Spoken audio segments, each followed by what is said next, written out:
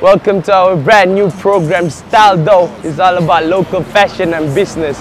It's me, Yang Zuzu. It's your host. So where we at today? We at, oh I think you can read it by here, you know. So let's go.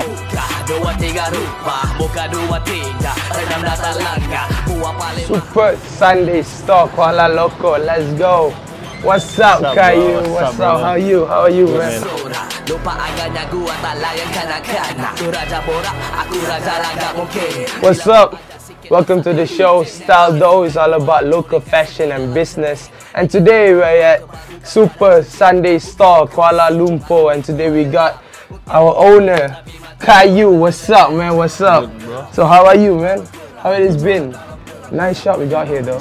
Thank you bro. So nak tanya sikit, ah, what is this Super Sunday brand all about?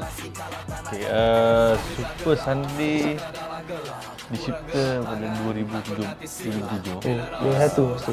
Ya. Jadi satu. Dia satu. Oh shit man. Mana tua. So kita uh, build up build, uh, Super Sunday uh, daripada uh, zaman-zaman MySpace tu.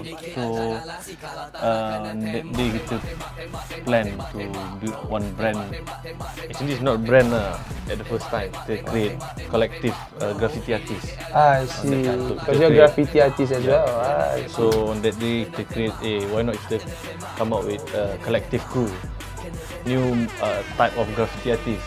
Basically graffiti involved into apa dark is like apa gangster. Ah, I see, I see. Vandalism and all that. Yeah. So kita nak cipta uh, kolektif yang lain sikit. Positive way Positive lah. way. So I see. one time tu I punya kawan uh, cakap eh why not kita come up with uh, Super Sunday just like out of nothing kita pilih Just click lah. let's create email blah blah blah I MySpace see, I see. Nice, nice. So, like you say just now, this shop has been, this clothing brand has been since 2007.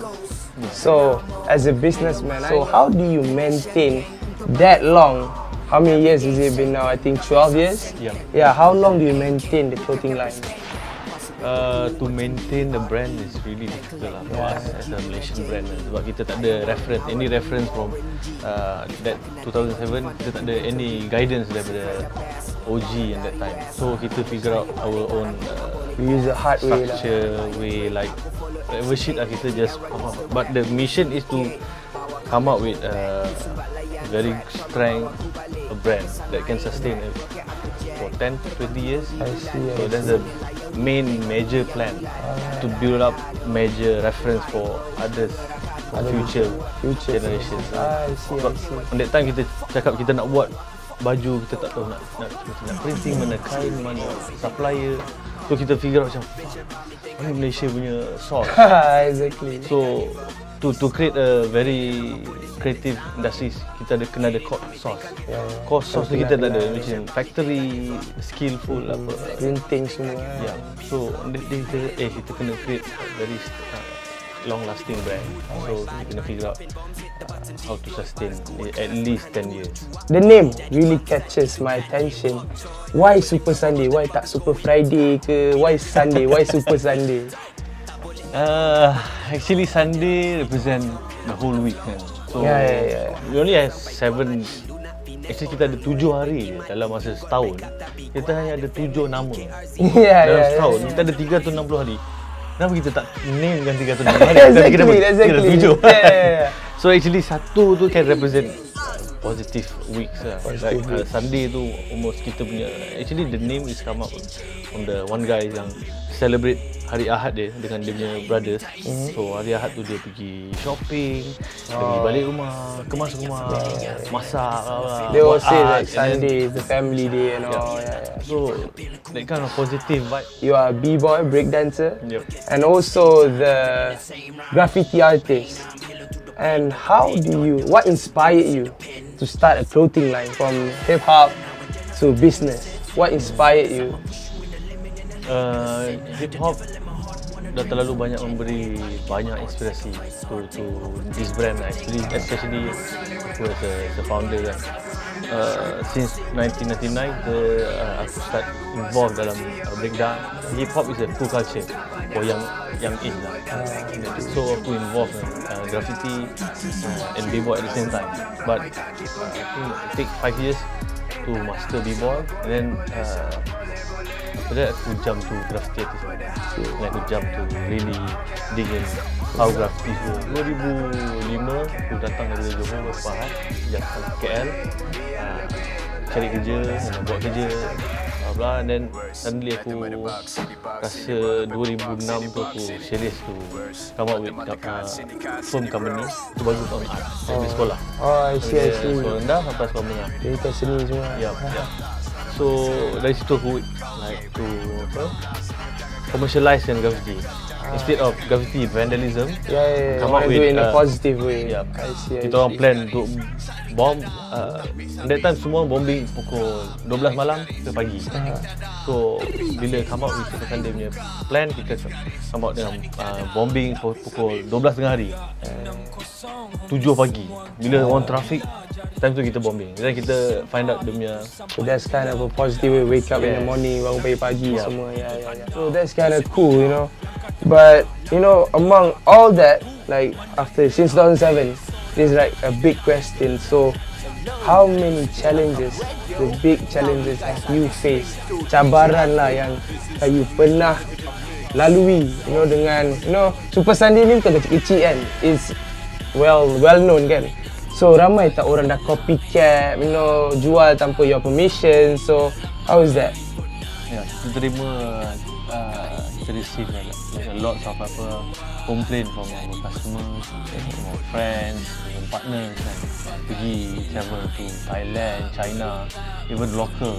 Like every week kita dapat ni uh, information daripada Kedah, daripada Sabah, Sarawak. Oh, Zara Malaysia lah. Dia ada whole lah. Malaysian dia. Mostly like macam market-market murah dia orang jual. Like not even cheap dia jual. Kita jual like t-shirt 70 60 ringgit but dia orang boleh jual like 50 ringgit. Oh, nak Wah, dekat not, lah. harga dia nak dekat. Yeah, exactly. But different font, different material, kita come up with very high R&D every year come up with R&D tapi dia just like copy je tu. Okay, so you as the owner, what do you feel though? Do you want to like take it to the like masuk court ke apa? What do you feel as a businessman? Because this is all yours, you know, under your name, under Kayu name.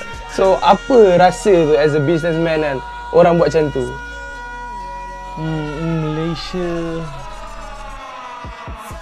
aku tak rasa dia punya law lah very strict to like copycat, copyright.